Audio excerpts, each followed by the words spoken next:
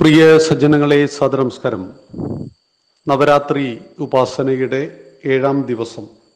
ദേവിയുടെ ഭാവം ദേവി കാളരാത്രിയാണ്.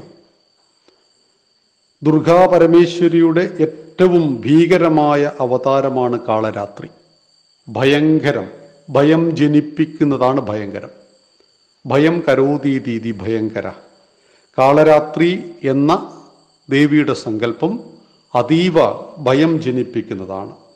എന്താണ് ഇതിന്റെ പിറകിൽ ഐതിഹ്യം രക്തബീജൻ എന്ന അസുരൻ തപസ് ചെയ്ത് അവൻ ബ്രഹ്മാവിൽ നിന്നും വരം മേടിച്ചു.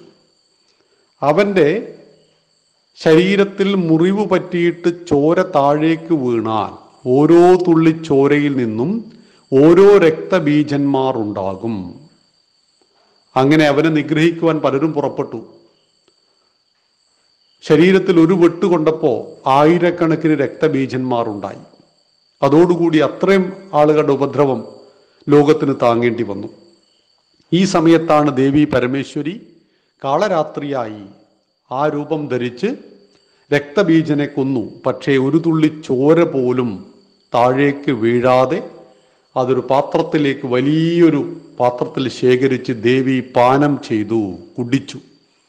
അങ്ങനെ രക്തബീജന് പിന്നീട് പിൻഗാമികൾ ഉണ്ടായില്ല എന്തിനാണ് ഇത്ര ഭീകരമായ ഭയാനകമായ അവതാരം എടുക്കുന്നത്? ഇവിടെ ദേവിയുടെ ദൗത്യം എന്താണ്? രക്തബീജൻ എന്ന അസുരൻ ഏത് വരം മേടിച്ചിട്ടാണോ ലോകത്തെ ഭയപ്പെടുത്തുന്നത്? അവനെ അതിലും ഭയങ്കരമായ രൂപത്തിൽ വന്നിട്ട് ദേവി നിഗ്രഹിച്ചു. അവന് കിട്ടിയ വരത്തിന്റെ ആ ആനുകൂല്യത്തെ ദേവി കുടിച്ചു തീർക്കുകയാണ് ചെയ്തത്. ശുഭകാരി എന്നും കാളരാത്രി ദേവി അറിയപ്പെടുന്നു.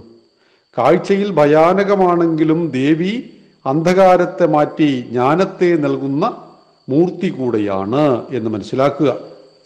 ആ ദേവിയുടെ ഭയാനകമായ രൂപം സാധാരണ ഭക്തനെ സംബന്ധിച്ച് രക്തദാഹിയായ ദേവി എന്നൊക്കെ വിമർശകന്മാർ പറയാറുണ്ട്. പക്ഷേ രക്തം കുടിച്ചുകൊണ്ട് ധർമ്മത്തെ രക്ഷിക്കുന്ന ദേവി എന്നാണ് നാം മനസ്സിലാക്കേണ്ടത്. ആയതിനാൽ ഏഴാമത്തെ ദിവസം ദേവിയുടെ ആദിപരാശക്തിയുടെ ഏഴാമത്തെ ഭാവം ദേവി കാളരാത്രിയാണ് എന്ന് മനസ്സിലാക്കുക. നന്ദി നമസ്കാരം. വന്ദേ മാതരം.